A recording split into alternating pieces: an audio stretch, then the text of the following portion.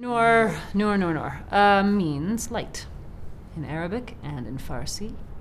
First of all, it's, I think, a beautiful word. And the concept of light. Being a beacon, that came up, hoping that we could develop Yeah. into being sort of a beacon for artists. Yeah, it's also simple. It's not hard to say. I It's was gonna say, crazy Arabic Yeah. words. Yeah.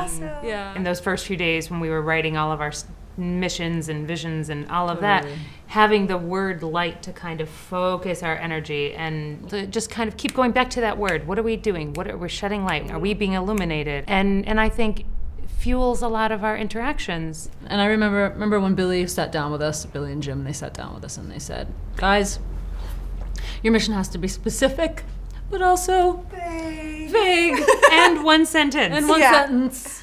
Right. And what is our niche that we fit into when there's so much that needs to happen on a governmental scale, on a humanitarian scale, mm-hmm. for people who are concerned with Middle Eastern issues? So, demonstrating how the work that we're doing will have an impact in all of those directions when the perceptions are shifting. right. I mean, it's super exciting to find the people that are excited about what we're mm-hmm. doing, who are our generation or a little bit older. Finding those people has been Game changer. really exciting. It's been a game changer. I didn't know that they would be out there. And so when we do find them, it's like finding diamonds. It's really, Yeah. it's exciting. And I think we all get excited about the idea of presenting, supporting, and developing the work of theater artists of Middle Eastern descent. Mm-hmm. That is our one vague, general, specific sentence. And everything we do really does feed into that, Yeah. from posting things on Facebook Yeah. to doing this amazing play.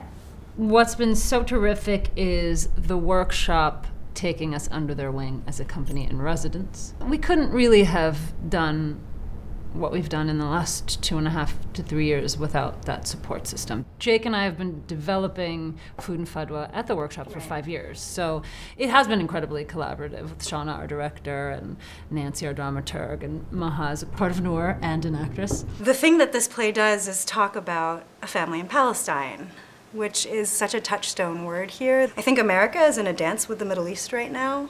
And for me, it's important that we're doing this play because it takes a family in the Middle East and makes them incredibly human and comedic and funny and loving and all of those things. And I, I'm very excited to put that portrayal forth because there are so many other images that are out there right now that are problematic. And I, I'm just super excited that I can be a part of this because it's like here is a nuanced portrayal. Mm-hmm. And that portrayal alone can challenge people in gentle ways or maybe less gentle depending on where their personal standing is, but I like the fact that we're challenging. And to me, that's why this play and the voice in it and all the voices I hope that we support in the years to come is incredibly important because it's relevant. It's Right. relevant.